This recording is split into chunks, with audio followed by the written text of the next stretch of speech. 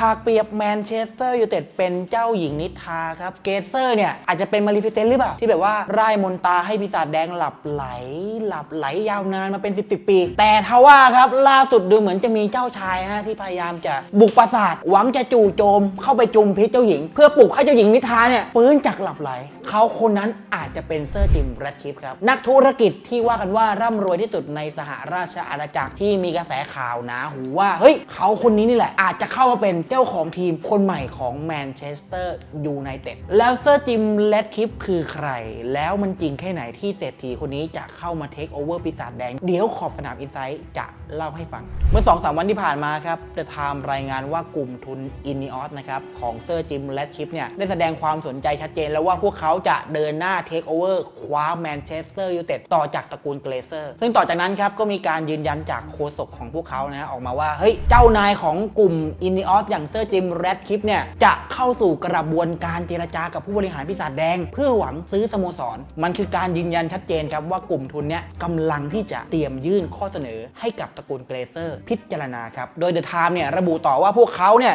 ยินดีที่จะขายสโมสรครับในราคา 5,000 ล้านปอนด์แต่ว่ายังไม่มีการยืนยันนะฮะว่าเซอร์จิมเนี่ยจะมีการยื่นข้อเสนอแรกเนี่ยเข้ามาเท่าไหร่จะใช่ราคาที่เกลเซอร์ต้องการหรือเปล่า แต่วินาทีนี้ครับก็ปฏิเสธไม่ได้ว่าเมื่อมีการประกาศเกิดขึ้นแล้วเนี่ยมันได้ส่งผลให้เซอร์จิมกลายเป็นเต็งหนึ่งไปแล้วครับ เพราะฉะนั้นครับสำหรับแฟนผีที่ทนทุกข์กับเกลเซอร์มานานเนี่ยคงอยากรู้จักกับหนึ่งในแคนดิเดตว่าที่เจ้าของทีมคนใหม่เนี่ยว่าเขาคือใคร เพราะฉะนั้นครับเราลองไปรู้จักกับเซอร์จิมแรดคลิปแบบคร่าวๆกันดีกว่าว่าเฮ้ยเขาเป็นใครมาจากไหนกัน อย่างแรกที่หลายคนสงสัยครับเซอร์จิมรวยจริงไหมมีการอ้างตัวว่ารวย แล้วก็ย้ายมาเป็นเซอร์จิมหรือเปล่านะฮะอย่างแรกที่คุณต้องรู้ครับคือธุรกิจหลักของเซอร์จิมเนี่ยคือการเป็นผู้ก่อตั้งแล้วก็ CEO ของอิน i ออครับบริษัทด้านเคมีภัณฑ์ที่ใหญ่ที่สุดเป็นอันดับ 4 ของโลกนะครับ ปัจจุบันเนี่ยเขาถือหุ้น 2 ใน 3 ของอิน i ออสนะครับ โดยคาดการณ์ว่าเขามีทรัพย์สินนะไม่ต่ำกว่า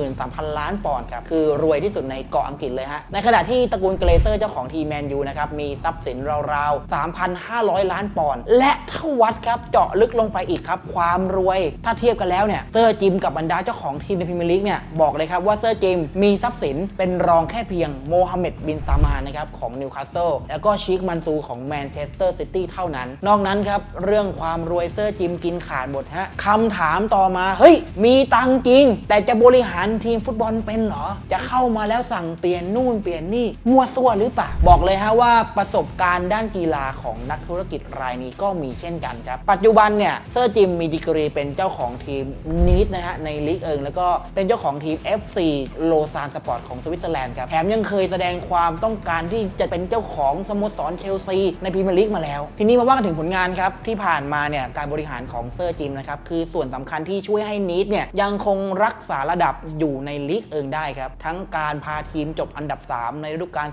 2016-2017 จบอันดับ 5 ในฤดูกาล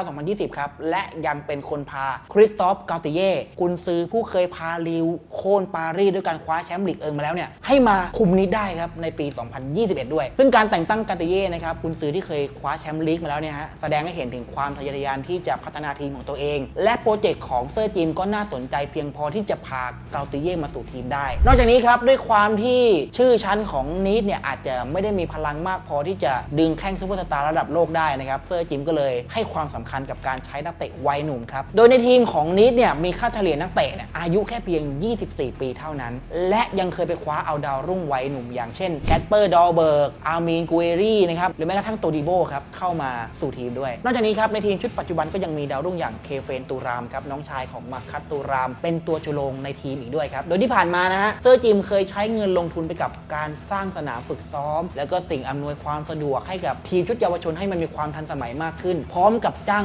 โค้ชระดับฝีมือเนี่ยเพื่อมาร่วมโปรเจกต์ค้นหาเพชรเม็ดงามในฝรั่งเศส แล้วก็ทำการปลูกปั้นต่อไปเป็นตามลำดับขั้น ซึ่งมีการเปิดเผยนะครับจากน้องชายของเซอร์จิมนะฮะที่ระบุว่านีซเนี่ยพยายามที่จะยึดโมเดลการพัฒนานักเตะดาวรุ่งแบบที่อาแจ็กซ์อัมสเตอร์ดัมเขาทำครับ โดยพยายามที่จะไม่ซื้อนักเตะที่อายุเกิน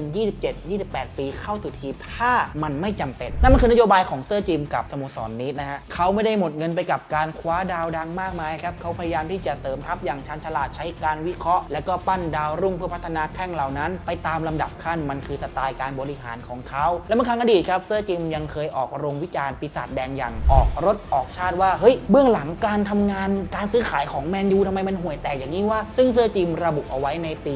2019 ว่ายูไนเต็ดเนี่ยใช้เงินโง่ ซึ่งคุณจะเห็นได้เลยว่าการที่พวกเขาไปซื้อเฟร็ดมาในราคาที่ 52 ล้านปอนด์เนี่ยมันดูไม่ฉลาดสักเท่าไหร่ นั่นคือสิ่งที่เซอร์จิมระบุไว้ ที่สำคัญครับสำคัญไปกว่านั้นแล้วก็สำคัญมาก ๆ เลย คือเซอร์จิมครับเป็นแฟนตัวยงของแมนเชสเตอร์ยูไนเต็ดเขาคือหนึ่งในแฟนบอลที่เคยเข้าไปเชียร์ปีศาจแดงนะฮะในเกมนัดชิงชนะเลิศยูฟ่าแชมเปี้ยนลีกกับบาเยิร์นมิวนิกครับในปี